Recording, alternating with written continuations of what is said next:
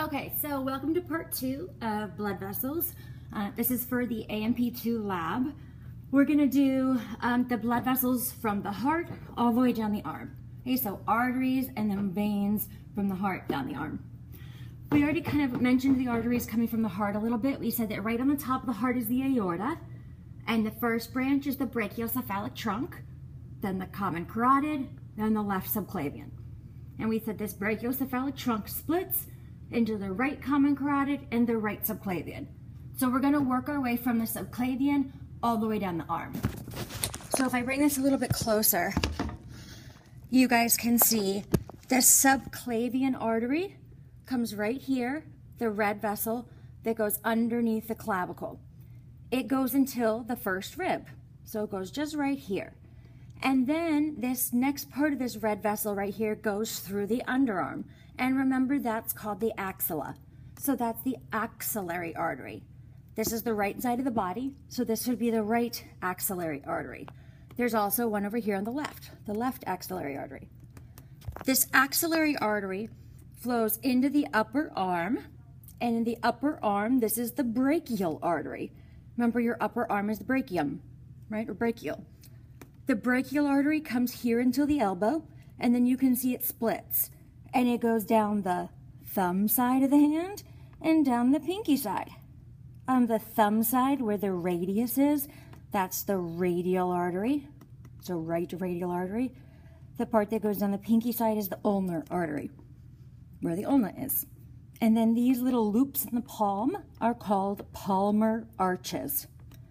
So we had all of this is the right side of the body. So for everything it's right, and for everything it's going to be an artery because we're looking at these red ones.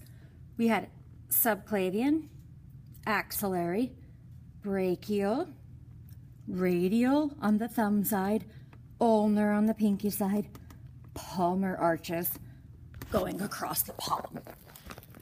Now we can see this on a couple different models. This model right here is actually a muscle model, but when you look at it, you can see that there are red vessels shown, right? Like these red blood vessels right here. Uh, and it's kind of big, so it's a good one to see the muscles on. Right off the bat, you have to figure out right or left. Um, you hold this, this is my nice creepy giant right arm. Um, so this would be right. If you put this right here, right, you can kind of see that this area would be in the underarm, right? Like this would be in the axilla. So when we look up close at that, that vessel that's right there, that would be the axillary artery. So the right axillary artery. Then when that goes through the upper arm, hey, the kind of red vessel that's embedded here in this yellow, that's the brachial artery. So the right brachial artery. That comes all the way down to the elbow, right? And then we said that it splits or it V's. Where it V's at the elbow, so it comes down to here, and then the brachial artery splits. We've got one that comes all the way down, so this red vessel that comes all the way down to the thumb, that's the radial artery. Over here, this red vessel that comes all the way down the pinky side, that's the ulnar artery. And then on the palm, you see palmar arches. Again, if you know where the vessels are located and their general progression, you can identify them on any model, right? So subclavian is under the clavicle. Past the first rib, it becomes axillary in the underarm. Axillary becomes brachial in the upper arm. At the elbow, the brachial splits. Radial comes down the thumb, ulnar comes down the pinky. Palmar arches are arches on the palm. Everyone hates this model, um, but it's really not bad. There's way more vessels than you need to know. So don't get confused. Just know the progression and you can identify them on here. Right off the bat, we have to know left or right. Okay, this makes sense. This is left. That does not make sense. So this is the left arm. So all of these are going to be left arteries. If I put this here, you can see that this would be in my underarm. So these red vessels that are right here are the axillary arteries. So the left axillary artery. That goes into the upper arm, right? So I can trace this down And I have this nice red vessel that goes along the top of the arm. That's the brachial artery. The brachial artery comes to the elbow. I gotta move this, but brachial artery comes down to the elbow and you can see that it splits. I have this one over here that comes down the thumb side. That's the radial artery. This one over here, if you follow it, it goes all the way down to the pinky side. That's the ulnar artery. If you look at the palm, they're kind of underneath, but these red little arches that you see there, those are the palmar arches. Now, that's it for arteries. Um, when we do the veins of the arm, we're gonna concentrate on a few different veins. Now, the arm actually has a brachial vein, a radial vein, an ulnar vein, and they go right alongside the arteries. Um, but your lab manual and a lot of the models don't focus on those vessels. They focus on a couple additional vessels. So when we look at the arm, we'll look at the different ones. We'll look at cephalic, basilic, and median cubital veins. And we are going to start at the heart though, so that we can go through the um, subclavian and axillary veins just like arteries. Again, when you look at this, this was the superior vena cava coming out of the top of the heart. And then you've got these two brachiocephalic veins.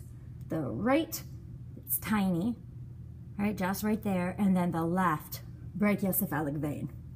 We had the jugular that went up the neck, and then underneath the clavicle, this is the subclavian vein. So the blue one that goes under the clavicle till the first rib is the subclavian vein. This is the right side, so this is showing you the right subclavian vein. After the rib, it turns into the axillary vein. So the blue one that goes in the underarm is the right axillary vein. Then what we'll see here is we're gonna look at a long vein that comes all the way down the pinky side of the arm. Okay, this guy's like this. So the, the inner vessel, the more medial vessel here is pinky side. Um, so this that comes all the way down the entire pinky side is the basilic vein. Remember, basilar artery was in the brain, right? The vertebral come up, the two vertebrals come up and form the basilar. This is the basilic vein on the pinky side. This huge vessel from all the way up here, it comes in, it actually comes down a little, like it cuts in and then out again. But this long vessel that comes all the way down the thumb side is called the cephalic vein. Then there's this little anastomosis or this little connector in the elbow that's called the median cubital vein. Remember your elbow is cubital, right? The whole elbow is referred to as cubital. So the median cubital vein is this one here. Um, that's where you normally get blood drawn. We don't see the veins on the muscle model, so we won't look at that, um, but we will look at this one. Again, remember this goes like this. So this is the left arm, and we're looking at the veins. So they'll all be left veins, all of the blue vessels. Again, if I put this here, this top area is in the underarm or the axilla. So that makes this blue vessel the left axillary vein. Then remember we said we're going to have a long vein that comes all the way down to the thumb, right? So all the way down, comes in a little, out, on the thumb side. That's the cephalic vein. Okay, there, the thumb, it follows all the way up on the thumb side. That's cephalic. Over here, we have another one that comes, I can't show you the whole thing, sorry. It comes all the way down and comes down the pinky side. See, if I follow this, look, I'm going down towards the pinky. That's the basilic vein. Right in the middle, it's numbered 19, but right in the middle, there's this one that cuts across the center, cuts across the middle of the elbow. That's the median cubital vein. Hey, don't get confused. The veins look awful because there's so much going on here. I'll only ask you for one on the thumb side, cephalic. I'll only ask you for one on the pinky side, basilic. I'll only ask you for one on the elbow, median cubital. Okay, so don't get confused. If you know where they're located, you can always figure out which one I'm asking for. All right, that's it for the arm. Um, we'll come back And we'll do circulation um, throughout the thoracic cavity and the abdominal pelvic cavity. And then we'll do the legs and hepatic portal circulation last.